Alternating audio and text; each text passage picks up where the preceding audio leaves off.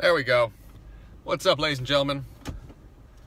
So, this conversation I had with a gentleman that uh, just replaced my windshield, actually. Very good guy, former uh, D1 football player, and uh, very fit. You know, you could tell when he asked me when I walked in, he's like, "You're really, you look like an athlete. You're really, really, you know, really yoked." We had a conversation, you know, guy conversation that way about training, whatnot. But he had a question in regards to what is the best pre-workout. So, a fair question. What's the best pre-workout? Black coffee, guys. Yeah, that is simple and as basic and as effective as you can make it. Uh, you know, for those of you guys that followed me a while, you know I'm not a uh, you know pill pusher when it comes to supplements much. Supplements are certainly useful; they can be used for certain things. Um, it's not as if supplements don't work, but in regards to you know the effectivity, you know the context thereof, you have to know what you're taking. You have to be taking things for a reason. Pre-workouts, they're a dime a dozen. Know, I've worked for different companies that had. I, I worked for companies that sold pre-workouts. I've, I've been a, I, when I was in the fitness industry more heavily. There were multiple know, individuals, entities I worked for where we had whole lineups of pre-workouts, every kind of product. What's the best pre-workout? Uh, the best pre-workout is the mental maturity that you realize that you are being bought and sold and ripped off by an industry that is that exists solely to make money off of you your preconceived false ideas that a pre-workout is going to be the superlative amazing workout amplifying results generating magical drink and you buy into that idea and you spend ungodly amounts of money on products that are nothing more than caffeine mixed in with some sweeteners mixed in with some random ingredients, and that's your pre workout. That's pre workouts for you.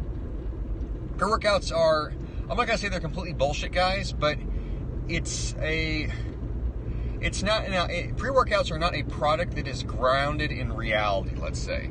If I was to take a group of athletes, okay, I take a group of 10 of you guys, 10 guys and 10 guys, guys, girls, whatever, and I say, all right, I'm gonna train both of you guys for 12 weeks. We're going to put on as much muscle as possible. And group one, I give a pre workout to. And group two, you don't get a pre workout. You just get told to focus, and I give you a pep talk each training session, and then you go train. I, I would pretty much guarantee, I would guarantee that the pre workout group is going to build no more muscle than the non pre workout group. I would guarantee that. Pre workouts, they're just, they're caffeine, and that's about it. That's the most effective ingredient yeah, there's pump products. Yeah, there's stuff that can help with blood flow. There's stuff that can help with hydration. Absolutely. But you can accomplish the same thing by getting a gallon jug of water, dropping in some creatine, adding some salt, drinking that while you train. You can buy some amino acids and make it into a workout. Or you can buy a product that does that. But the idea that pre-workouts are this magical formula that I don't know, it's like you know, like steroids in a, in a, in a jar, basically. Uh, you know, somehow taking it is going to produce X amount more muscle. That's a bunch of bullshit. It's, it's, it's flat out, it's bullshit. Pre workouts, they will help you focus because they got some sort of stimulant in them. That's it. That's it. You know, even the stuff I take, you know, lion's mane mushroom uh, extract with the, you know, the nicotine gum, makes me focus. You're hyper focused. What does that do for you? When you're training, you're really into training. There's the secret sauce. In terms of the best pre workout I've ever taken, I, the vast majority of the time, I drink black coffee before I train. Yeah, Ed Latimore popularized that. Got credit. Him and I should probably start a coffee company at this point. But I drink black coffee. I pour a cup of black coffee, two cups. I drink that. Makes me sweat a little bit because it's hot. You know, sometimes I get the iced coffee. You guys have seen me do that lots of times. I drink the iced coffee. Then I go work out. Th- that's it. How long do you smoke? I've never smoked in my life. Well, I take that back. I have smoked. I was not a smoker. I take the nicotine gum because it's nootropic. A lot of you guys thought I smoked because I take I, take, I chew the nicotine gum. It's not because I smoked. Nicotine is a nootropic. It has a lot of actual positive health effects if you do the research on it. Um, you know, and I don't have an addictive personality, so it's not like I'm popping nicotine gum 24/7. I'll chew a piece, you know, before I train. We call it Jack Black. yeah, that's a good way of saying it. So that's that's the rundown of pre-workouts. You can I could I could talk about individual ingredients and oh beta alanine does this. Oh that's cool. Well, well, if you take a bunch of arginine, yeah, arginine's kind of cool. Why, why not? Um, yeah, well, but what do you think of creatine? Creatine can take you around. Great. You can go on and on and on with pre-workout ingredients.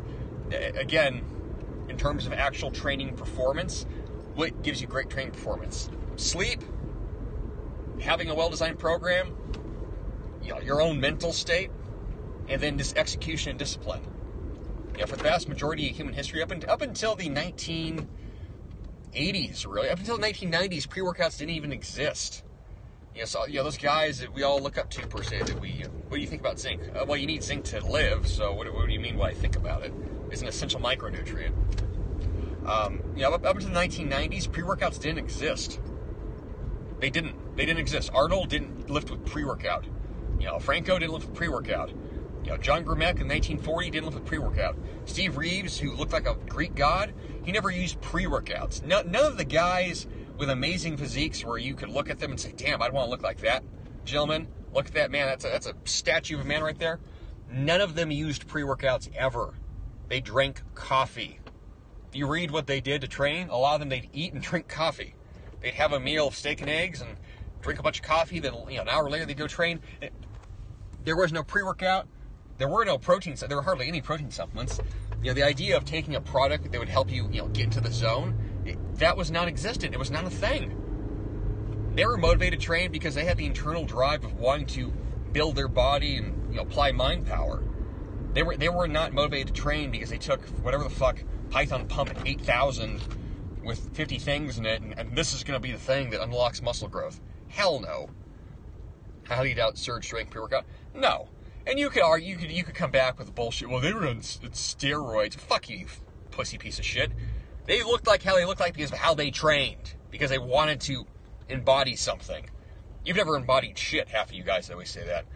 Steroids. Well, they took steroids. I could feed you steroids 24 seven. Uh, the guys, the guys that always come back with that, I already know they're cowards, abject, worthless piece of shit cowards.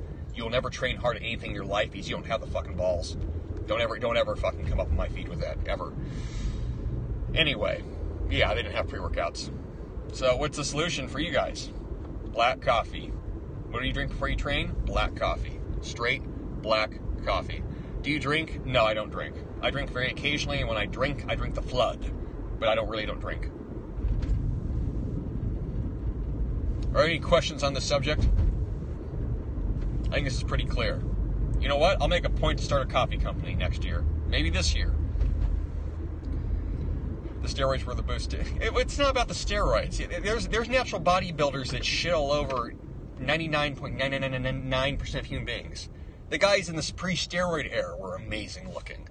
They looked how they looked like because they wanted to look that way, and they trained to be transcendent, so to speak. Yeah, the steroid excuses, it's just weak people. I always know it's, it's weak people. GLT talk was great, by the way. Oh, good. I'm glad you guys like that. Yeah, that was, that was a really, I really enjoyed that uh, speaking with him. Where are the benefits of nicotine? Look it up. Look it up. I, the supplement questions bore the living shit out of me. Not to be an asshole, but look it up. Examine.com, nicotine, go look it up.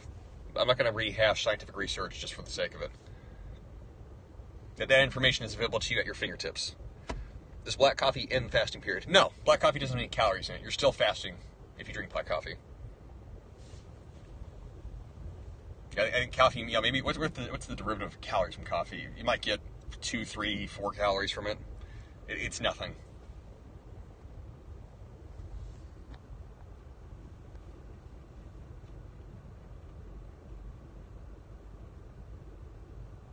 If I put, well, yeah, coffee, if it makes you defecate, then go defecate. What's the big deal? Is smoking marble? No, no, it's not. I would not recommend smoking cigarettes as a pre workout. Does having sex pre workout affect a workout? You tell me. That's up to you. Yeah, I really don't even see how that would be a question unless that's really an issue for you where your girl's begging is begging you to bang her right before you go deadlift squat. Okay. yeah, then give the lady what she wants and go do your thing. Chewing tobacco, disgusting. Disgusting, disgusting, disgusting, disgusting habit. You're asking for mouth cancer. I'd rather someone smoke than chew tobacco. You know, like I mean, either way, you're it's kind of screw you over health wise. But will social drinking and smoking eradicate a good training plan? Uh, it will certainly help diminish your results. Those things are not healthy for you. I don't think I need you. To, I don't think you need me to tell you that. Nicotine gum lion's mane help me out more, stay afloat. Yeah, I realize that the synergistic effect, they both affect the acetylcholine pathway, but in two different ways. That's why the focus is so immense. I mean, in case of muscle building, uh, testo, I don't know what the fuck you're saying. Speak clearly, people.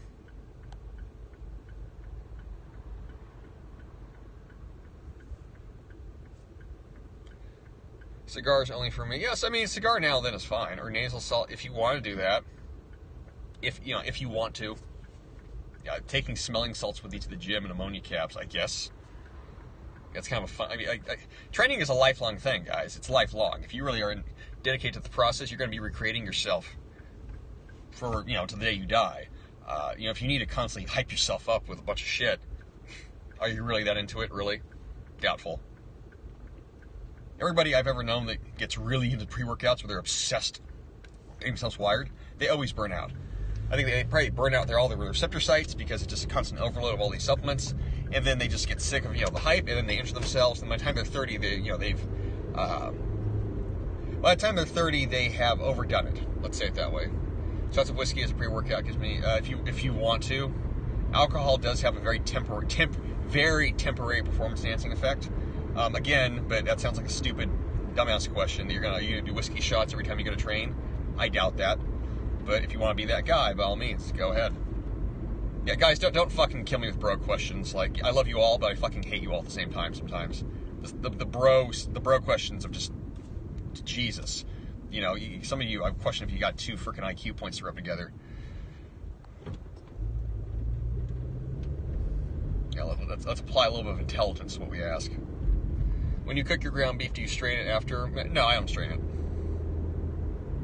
Are there natural fat burners? Yeah, sleep and uh, not eating It's a natural fat burner.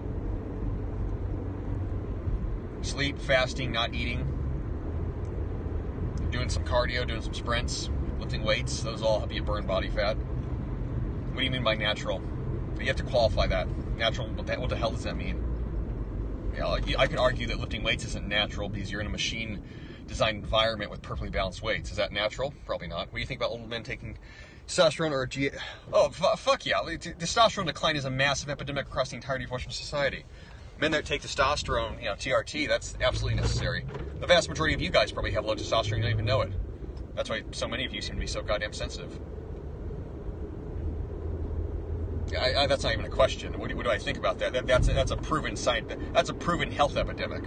You know, that's it's multifactorial. It affects all of society the testosterone collapse in the West is the result. The testosterone collapse in the West is the one of the factors that has resulted in the current state of the socioeconomic climate and human behavior. Those things are intricately tied together. A low testosterone society is a fearful society. Is a fearful society. That's how that works. And I'm not making that up, pulling it out my ass. You can look. You can. There's a book on that called The Testosterone Hypothesis uh, by Roy Barzilai. Read it. I recommend archiving all of your Twitter threads if possible. Yeah, I probably should, but somebody else will do that for me, no doubt. Testosterone collapse of the West is, is the that a myth? No, it's not a myth at all. There's scientific research that proves that unequivocally. Testosterone levels have been declining for like four or five. They've been declining for four or five decades now. That's not a question. As oh, do you think it's happening? I don't think it's happening. It is happening. You know, the, the environment is so filled with the estrogenic compounds and xenoestrogens that I mean, you, you, people have no idea. Yeah, that's why sperm counts are down so much. That's not random. These are not mysteries.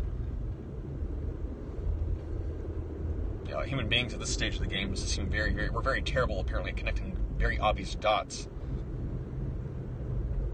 Everything is interconnected to everything else. Does cortisol affect muscle building? Yes. If you have, if your cortisol levels are in excess, it will interfere with the anabolic processes. That's why stress management is so imperative. That's why sleep is so imperative if your sleep is shitty and you're stressed out a lot, muscle is going to be slow to come by. Is three cups of black coffee a day bad for you? No. Coffee's not bad for you unless it is bad for you. Some people are very caffeine sensitive and coffee messes them up. If you're not, then you're not. What can I do to get harder erections? Uh, cardio, diet, exercise. If you need more help beyond that, go find a specialist because I don't feel like talking about your dick.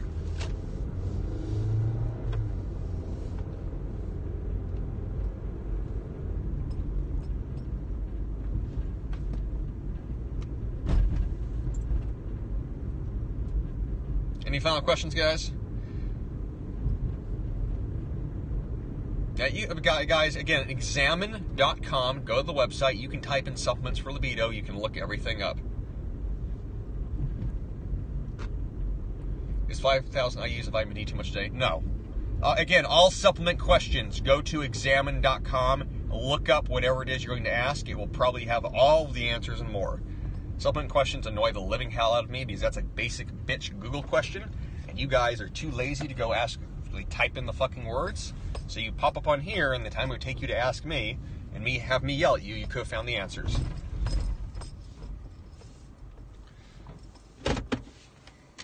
Any final questions?